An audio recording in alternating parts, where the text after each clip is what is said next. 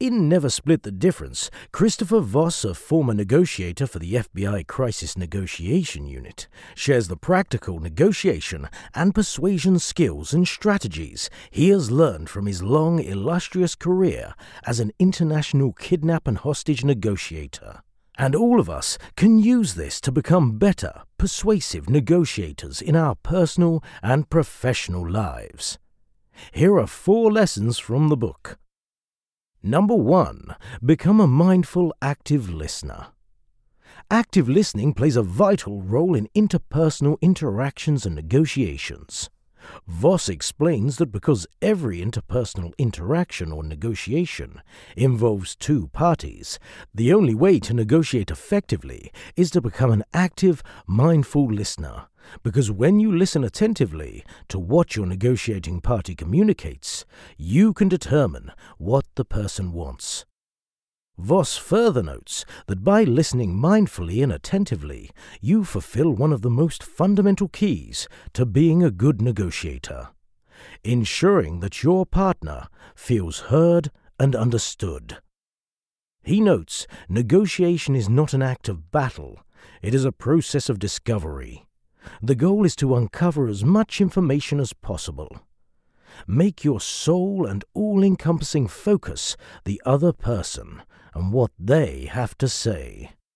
So, to become a better negotiator, and also better at interpersonal interactions and relationships, become a mindful, active listener.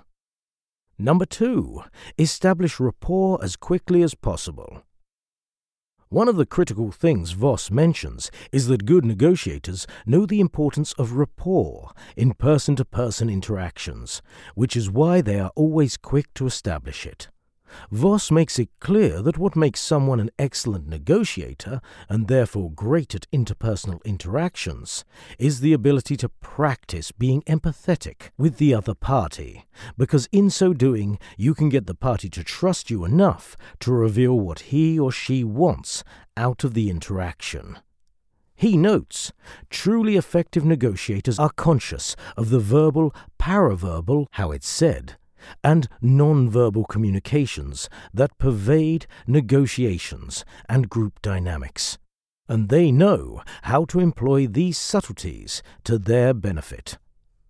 So, to become an excellent negotiator, in addition to being an active listener, establish rapport as quickly as you can so that you build empathy and gain trust on how to build rapport and establish empathy and trust as fast as possible, Voss notes that you can use one of three voices.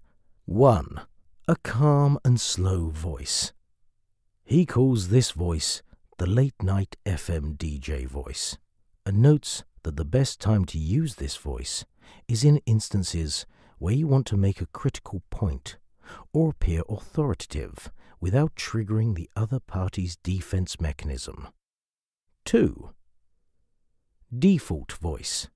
He calls this voice your default, playful voice, and notes that being great at negotiations demands that your default voice be camaraderie building, easygoing, encouraging, light, and agreeable. 3. Direct voice. This tonality is the assertive and direct, he notes that because it often causes defensiveness in negotiating parties, it is better not to use it, or use it sparsely when the interaction calls for directness. Number three, use tactical empathy to your advantage. On what tactical empathy is, Voss notes Tactical empathy is understanding the feelings and mindset of another in the moment and also hearing what is behind those feelings so you increase your influence in all the moments that follow. It's bringing our attention to both the emotional obstacles and the potential pathways to getting an agreement done. It's emotional intelligence on steroids. Tactical empathy is a potent negotiation tool and interpersonal skill that, used effectively by paying attention to the other person's tone of voice, gesture, face, and other communication elements, makes it easier to practice rapport and trust building conversation strategies, such as mirroring and labeling and validating. Number four, use the Ackerman model. The Ackerman model is a six step process of negotiating price. The six steps are 1. Set your target price, your goal. 2. Set your first offer at 65% of your target price. 3. Calculate three raises of decreasing increments 285, 95, and 100%. 4. Use lots of empathy and different ways of saying no to get the other side to counter before you increase your offer. 5. When calculating the final amount, use precise, non rounded numbers like, say, $37,893 rather than $38,000. It gives the number credibility and weight. 6. On your final number, throw in a non monetary item that they probably don't want to show you are at your limit.